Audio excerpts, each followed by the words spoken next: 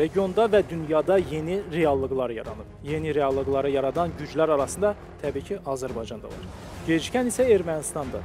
Sülh təklifinə cavabın hələ də verilməməsi, Zəngəzur dəhlizinin açılmaması, delimitasiya və demarkasiyanın gecikməsi rəsmi Bakını yeni addımlar atmağa sövq edir. Görünən odur ki, ölkəsi daxilində hərcmərciliklə bacarmayan Nikol Paşinyan Azərbaycanın sülhə məcbur etmə əməliyyatının keçirilməsini istəyir. Prosesin bir qədər də gecikməsi Nikolun son arzusunu reallaşdırmamıza zəmin yaradır. Hər bir halda sülh prosesinin gecikməsi ən çox Ermənistana zərər vurur. Çünki istər Avropa İttifaqı, istər Rusiya, istərsə də Orta Asiya və Uzaq Şərq yeni nəqliyyat dəhlizinin işə düşməsini gözləyir. Belə olduğu təqdirdə özünü naza qoyan Ermənistanı nə gözləyir? Jurnalist Tehran Orucoğlu'nun araşdırmasında bu suala cavab tapa biləcəyik.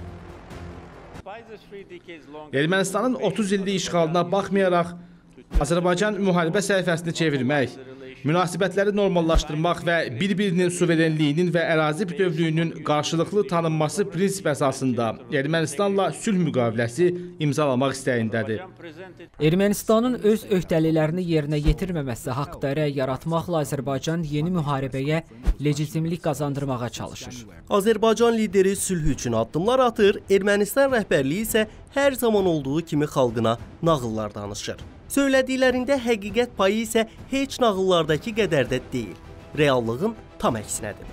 Regionda yeni müharibəyə səbəb olmağa cəhd edən Ermənistan tərəfidir. Bunu mütəmadi atəşkəsin pozulmasından, kommunikasiya xəttlərinin açılmasına törətdiyi maneələrdən görürük. Bu məsələlərdə öz gücümüzlə həll etmək bizim e, beynəlxalq hüququmuzdur. Yəni hərbi güclə e, biz bu məsələni yenə də qısa bir zaman kəsiyində öz yoluna qoya bilərik. Amma biz yenə də demək istəyirəm ki, biz Azərbaycan yenə də müharibəni istəmir və istəyir ki, məsələlər danışıqlar masası üzərində həll olunsun. Sülh müqaviləsini imzalamaqdan boyun qaçırmaları bu gün bir sualı aktual edir.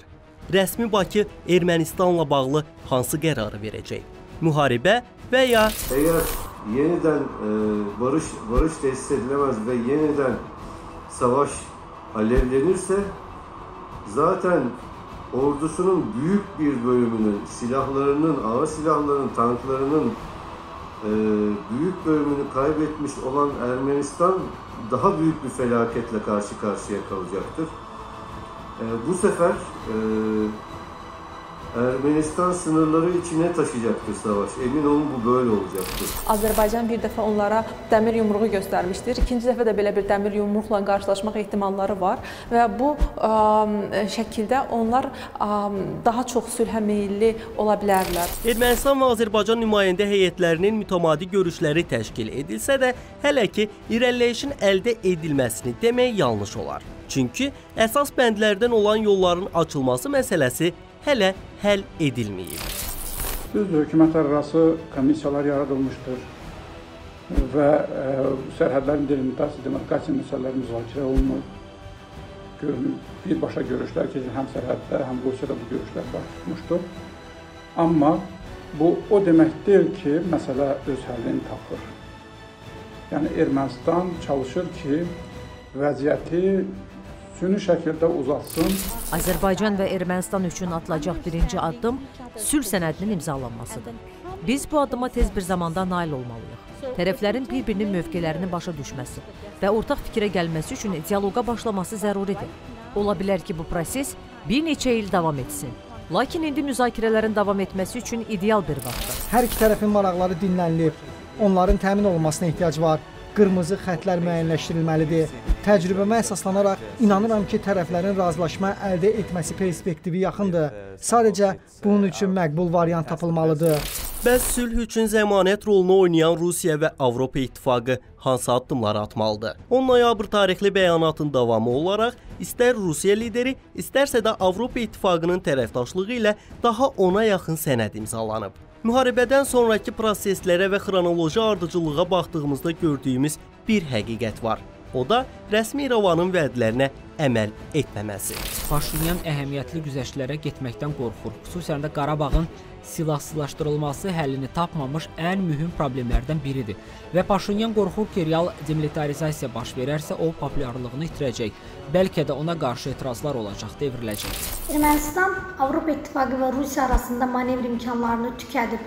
Avropa İttifaqı Şurasının praktiki irəliləyişə səbəb olan moderatorluğundan sonra Rusiyanın da sərhədlərin delimitasiyası və Zəngəzur dəhlizi ilə bağlı təşəbbüsü ələ almağa çalışdığını nəzərə alsaq, İrəvanın sülh prosesi ilə bağlı konkret dalan vəziyyətində olduğunu söyləyə bilərik. Sülhə əngəl yaradan digər səbəb isə Ermənistanın Zəngəzur dəhlizinin reallaşmasına hava və su kimi ehtiyacı olduğu təqdirdə reallaşmaması üçün atdığı addımlardır.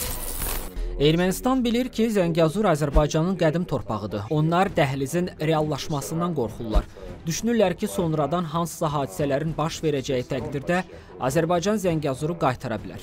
Ermənistan isə uduzacaq. Onların Sünik bölgəsi adlandırdıqları ərazini və bununla da İranla sərhədi itirirlər. Bu sözün əsl mənasında hər tərəfdən az qala Azərbaycan və Türkiyənin əhatəsində olacaq. Rusiya bu şəraitdə nə edə bilər? Düzünü desəm heç nə. Bəs sülhün gecikməsi fonunda Ermənistanla normallaşmaya gedən qardaş ölkə Türkiyə hansı addımları atacaq? Təbii ki, hər bir addımı Azərbaycanla müzakirə edən rəsmi Ankara növbəti dəfə Ermənistanla münasibətləri nəinki normallaşdırmaq, hətta müharibədən öncəki vəziyyətdən daha gərgin səviyyəyə çatdıra bilər. Türkiye e, Ermenistan'ı e, barışa teşvik etmek için bazı adımlar atıyor, bazı açıklamalar yapıyor, niyet beyanında bulunuyor ama işte bu e, adımlar her biri karşılıksız kaldığında e, yine akamete uğrayacaktır. Ne olacaktır? İşte uçak seferleri durdurulacaktır. E, normalleşme çabaları askıya yine alınacaktır.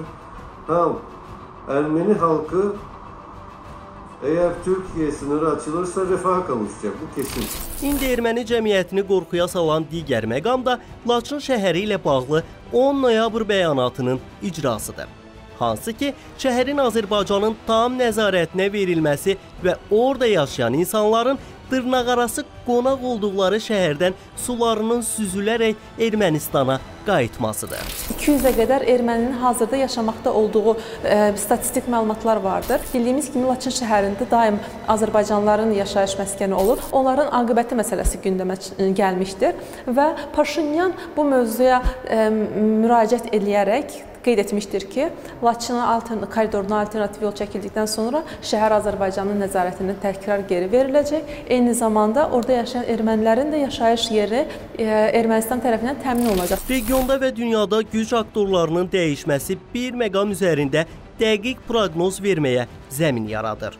Bu da Cənubi Qafqazda söz sahibinin Azərbaycan olmasıdır. Hansı ki, Ermənistanın daxili məsələlərinin belə tənzimlənməsi bundan sonra rəsmi Bakının qərarlarından asılı olacaq. Ya müharibə, ya da sülh. Hər bir halda qalib olan tərəf məlumdur. Tehran Orcoğlu xüsusi olaraq diqqət efir üçün.